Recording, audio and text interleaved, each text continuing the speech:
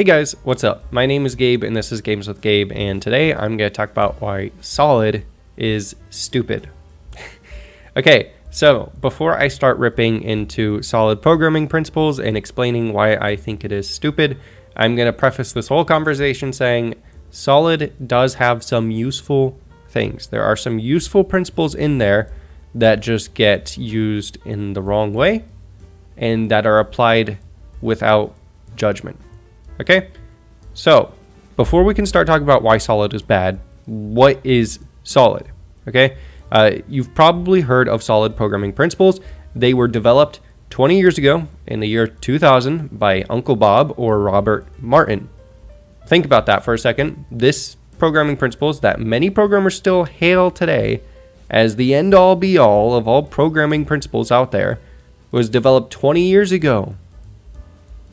Now, there's two things, two possibilities for why programmers still hail it today. One, it's because it's really a good principle, and so we should use it, and that's why it's withstood the test of time. The second is because people don't like to change. And so, even though this may not be the best solution out there, they refuse to change and accept better solutions. And I'm proposing it's more the latter than the former. So, what is solid, right? We can't really talk about why it's bad without knowing what it is. Well, solid is an acronym and it stands for the S single responsibility principle, which basically states that one class should be used for one responsibility. Okay? And so, what this often leads to is individual classes and individual files that have individual purposes. That's the single responsibility principle. What is O? O is the open close principle, which states that Classes should be open for extensibility, but closed for modification. So basically, if you have functions in a class, you are allowed to add more functions, but you shouldn't really change the functionality. So you shouldn't really change the functions that are already in there. You shouldn't change the names. You shouldn't change what they do, what they output. They should remain the same. The Liskov substitution principle. This states that any subclass should be able to replace its parent class. All right. So what this means is if you have a class component which has a subclass texture, right? So texture is a type of component. Well, you should be able to use texture as a component directly. You should be able to use component as a component directly. This has some other design flaws. People don't really follow this principle at all, and even the the people who say that you should use solid, they say, well, Liskov substitution principle isn't really the best principle to follow anymore. The interface segregation principle. What this says is many interfaces are better than one big interface. So instead of having one giant interface that you have a bunch of different classes implementing, you should have many interfaces that different classes implement each interface directly. And then lastly, this is the one that I loathe. This is the worst principle of solid, the dependency inversion principle. That's the D. This basically states that your dependencies should be not controlled by the class who uses the dependency, but should be, be controlled by some outside class. So what ends up happening is developers often use these things called IOC containers, inversion to control containers, to handle this management, and then you get a bunch of more abstraction and abstraction and abstraction and abstraction. Oh, it's great. Okay, anyways, so why did Uncle Bob develop this? Well, you can look at the paper that I have linked in the description. He developed this because he had dependency management problems. So he said these five patterns will solve dependency management. But what we'll find out, the nasty little secret that no one wants to tell you, is that dependency management is not solved. It is simply handled elsewhere. Okay? Dependency management is still an issue. It has never been solved. You are just offloading the responsibility to somebody else. Now, let's take a look at the bad code that these principles lead to and why we should want to avoid it. Okay, why if you're actually developing for the real world and you want to de- deliver a product, these patterns will hamper, not help. Okay, so the first thing we're going to talk about is how individual class names are usually used in individual files because of the single responsibility principle. So what you'll end up with is, say you have some render system, right? This render system needs a sprite render. Well, the sprite render we're going to place in its own class, and it's just some data, right? And then we have the sprite, which is also just some data. And so these all get their own file. They're down in a different file path and everything. And then the render system uses all this. Well, we have a bug, which happens quite often in programming. And now all of a sudden, sprite render is calling some function. well, I don't know what this function does, and it looks like the bug might actually be emanating. So then I have to go into sprite render. Well, sprite render actually has this sprite class. Well, now I have to go into sprite. Well, this has this texture class. Now I have to go into this texture class. On and on it goes until you finally find the bug that you're looking for. Now, usually you can handle this with a stack trace and you can see where the bug is emanating directly from, but often you will have side effects. What would be better is since these are all the same functionality, these all share the same purpose, we should move these classes directly into the class with the render system. Why? Because the render system is likely the only person who manages these and deals with these directly. You may use these as data, but this data is mainly used within this class. So keep it all together. This means that your context will not be switched because, as you know, when you are programming and your mind has to split between so many different things, it makes it harder to follow a program. When you separate classes into every single individual file, you are splitting context, splitting context, splitting context, and it does not help. The next thing I'm going to talk about is fitting square shaped problems and solving them using circle shaped solutions. Now, what do I mean by this? Well, what I mean is usually you have some sort of problem domain, and because we have to use object oriented programming, which Solid is a huge proponent of, right? Solid doesn't exist without object oriented, they go hand in hand. Well, because everything must be an object, you have to wrap your mind in these really weird places when some problem doesn't really fit a real world object. And so what you end up with is these classes, which we will call the ER classes. The scene manager, the scene helper, the scene, you know, these classes, these doer classes. What do they do? Well, they're not an object. So why are we representing it as an object? Well, the reason we're representing it as an object is because, you know, some programmers told us, well, having functionality within the class isn't actually good, even though that is really the point of object-oriented programming is to combine data and logic. So they say we should have these manager, these systems, all these classes that handle the data. Well, the problem with this is now we have a needless dependency. What do I mean by that? Now somebody has to create the scene manager class and decide when to kill the scene manager class because it's now needs to be done. Instead, what languages like C++ do is they have something called namespaces, right? We can just say namespace scene manager, and then we can just have our function switch scene, which takes in a scene, and then that does some other stuff. And then when you're calling it, all you have to say is scene manager, switch scene, and then pass in some scene. This is so much better because what this is saying is, hey, I have this functionality. This functionality is not tied with any specific thing. Uh, and actually, I would even go even further and say maybe not call this scene manager. Maybe call it scene. And then this is a namespace which is separate from a class, but the naming doesn't really matter. All that matters is we're saying we have some functionality that is not necessarily tied to an object. And we don't want to tie this to an object because it's just functionality that we need. So by wrapping it in this namespace, we just have the functionality and we don't have to worry about managing objects uh, needless dependency gone. okay, so it's really as simple as this in a language like C++. In Java, you can simulate this by doing a public static class and then making these all static functions, which has other problems too, because then this is like a global. This is like a global too, but you know, global functions aren't all that bad, as many people would like you to believe. They can lead to problems. Don't get me wrong. There's a reason people say to avoid it, but I think there's exceptions in all these cases. Another thing I typically see when you're following the solid pattern is duplicated code, the exact thing that it's trying to avoid. Why do we get duplicated code when we have these problems? Well, the reason we get this duplicated code is because you're trying to fit every single thing into a specific real world problem domain. Well, the fact of the matter is we're dealing with bits and bytes. We're not dealing with actual objects here. And so you end up getting a lot of code that does the same exact thing just with another object. Now you could solve this with generics and everything, but then there's more problems because, well, should I really abstract it to this level? I don't know yet. And so trying to solve a problem with a predefined solution in your head, saying, I'm going to use solid, often leads to these problems. And then you get duplicated code and you look through the code base, you're like, hey, this is all doing the same thing, just with different objects and stuff. And you end up with a mess and trying to add code becomes more difficult rather than easier. So the next thing that I want to talk about is forcing everything into a design pattern. Now, Solid doesn't necessarily say this, but the people who propose that Solid is a good coding technique are typically the same people who are saying everything follows this pattern because this pattern is good. That's never a reason you should follow a pattern. If you say, I follow this pattern because this pattern is good, you're doing something wrong, okay? Now, let's take a look at what I mean when I say this. Usually, uh, I've seen this where you have some REST response, right? Some REST API. And so this one pattern, command query, execute pattern or whatever, it's something like that. Uh, you basically have a REST query object, you have a REST response object, and you have a REST handler object. This is just some data. This is just some data. Remember, these are all in separate files because uh, we cannot have these in the same file. That's just horrible coding practice. Look how ugly this is.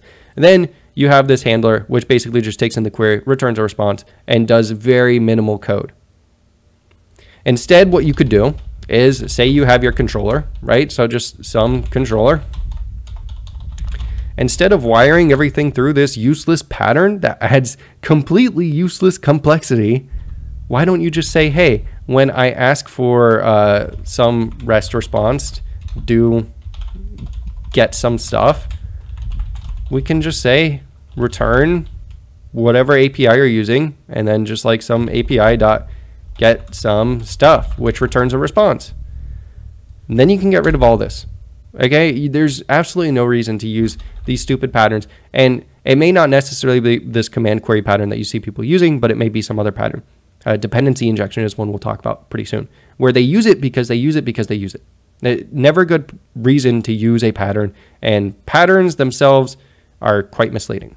And now, why are patterns themselves misleading? Okay, I keep talking about these design patterns and stuff, and I do want to talk about that in a little bit better and a little bit more of a clear manner before moving on. If we look up the definition of a pattern, what Google tells us is a pattern gives a regular or intelligible form to.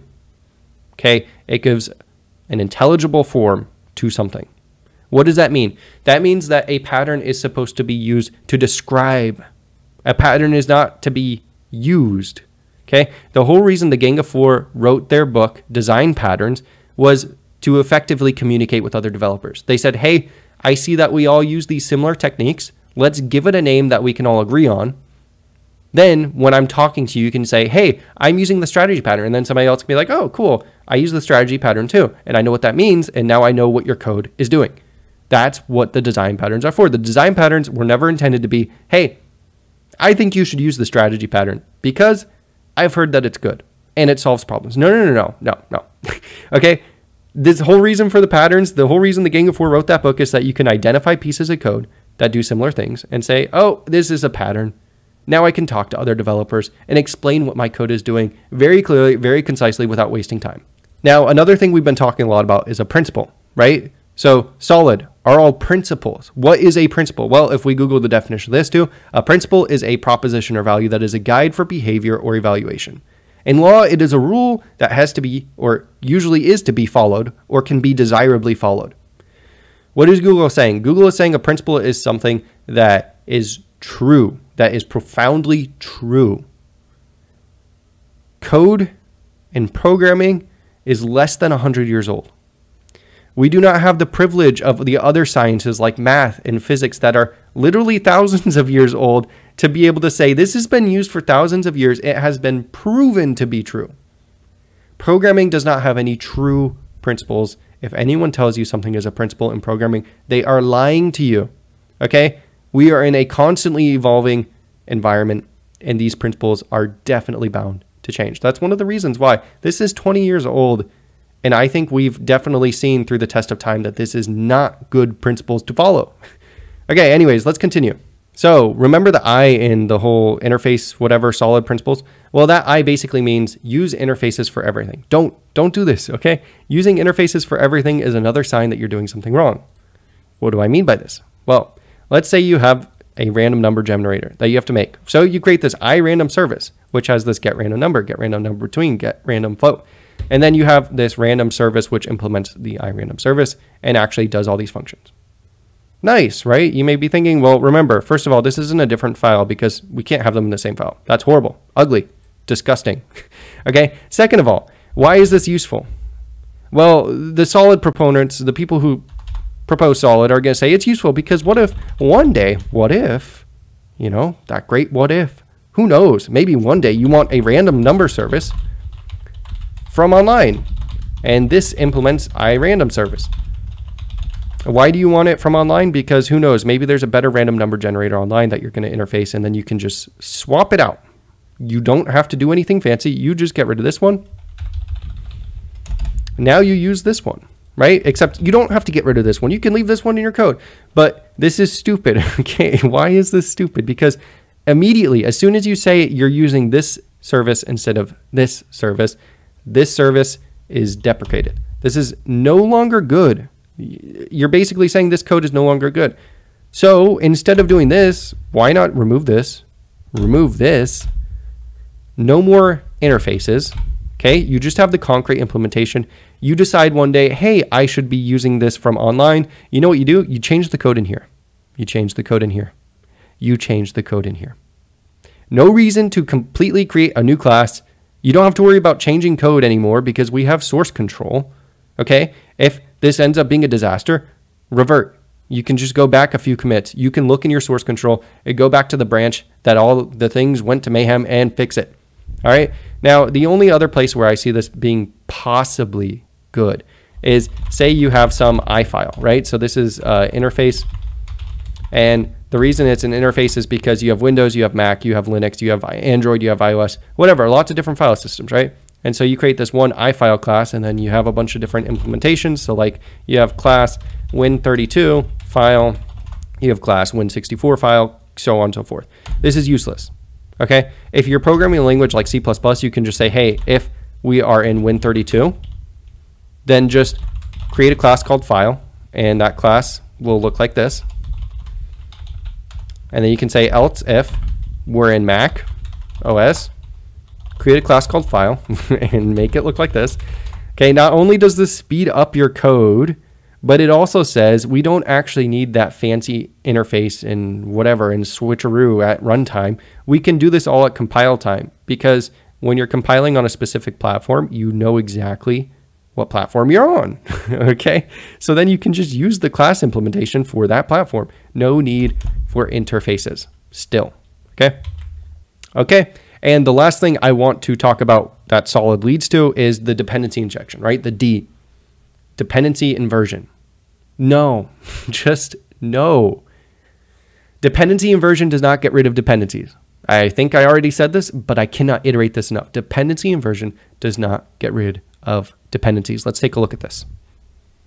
So say you have this wonderful class. Ah, this is following great patterns as you can see because everything is an interface. That's beautiful. And it's also getting passed into the constructor. I'm not constructing any of these. So it's great. It's perfect. It's flawless code design. But really, is it? Okay. The whole purpose that Bob Martin said we should do this is to get rid of or to manage dependencies. Well, I have a nasty little secret for you. I think I already said this too. The dependency is still there. It is still here. Look at this. This class still depends on message handler. Instead, what I would suggest you do is you create these by hand. You see how many classes need them. And then when you see that a lot of different classes are needing this ilogger, for instance, then you say, hey, maybe this is better as not a dependency, but maybe it's better as a namespace. And then this namespace can do certain things because we're just using this functionally. We're not even using this as an object anymore. And then if this class is the only class that needs the iNumber generator, how about we just add that right in here? and don't even do the interface because we already looked at why that's stupid. And what you end up finding out when you refactor your code instead of starting from this is you find out that you include a lot of dependencies that are actually useless. I actually don't really need this iMessage handler. I actually don't really need this iConfiguration settings. And so on and so forth until you're left with minimal dependencies, which is how it should be. And the dependencies that you do have are usually only for one or two classes, which is as it should be. Do not use an IOC container. An IOC container means that you don't know what you are architecting and you are just randomly pulling at straws to make your code look clean when it's not really. Okay, so we've looked at a lot of the different problems that arise from solid programming principles. And the number one problem I can say that arises from this is uh, solid programmers have pretty code. Okay. They have pretty code. They don't have very useful code. okay. And what I mean by useful code is if I'm debugging and I have to wade through all this complexity that you added for absolutely no reason. This makes me a very happy, unhappy programmer, okay? It's useless complexity. It's complexity for the sake of complexity. That is never a good reason to do things. Instead, what I propose code for a solution, solve the problem at hand. Then, when you start to see patterns and you start to see code duplication, abstract. That's when you abstract. You don't abstract at the beginning because you never know what you're going to need until you start delving into this problem. Jonathan Blow, I was watching him the other day and he put it beautifully. He said, The whole point of engineering is, especially software engineering, you have a bunch of many subdomains, okay? Very small subdomains that have very specific problem sets. And you can't just go blindly applying different practices to these subdomains because they have very specific solutions. So you come up with the specific solution, you learn about that problem, you learn about that domain. Once you start learning about it, you can more intelligently abstract and come up with patterns for that specific problem. Okay, so don't blindly follow practices. Blindly following best practices is not a best practice. Don't do it, okay? And I think we have to ask ourselves why are programmers doing this? Why do programmers put themselves in these situations? And the reason is I think programmers are solving imaginary problems. Check the description, there is a link to a great article about this. But basically, in your day to day job, you are solving very mundane REST API type problems where it's like, oh, I got to go get some data. I got to return the data to the website, display the data.